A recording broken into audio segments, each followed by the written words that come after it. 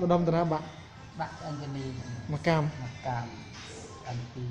ទីទីទី4ទី4គោវារយឈ្មោះហើយអងគោរយឈ្មោះដាក់គោតាមឈ្មោះគោដល់ពេលហើយវាឡើងពីលើមកមកដឹកឲ្យវាផឹកទឹកហ៎អត់ទេសាដឹកមកផ្ទះទៅដាក់ឈ្មោះអានោះជន់ត្រូវឲ្យវារកឈ្មោះចឹងកាយណា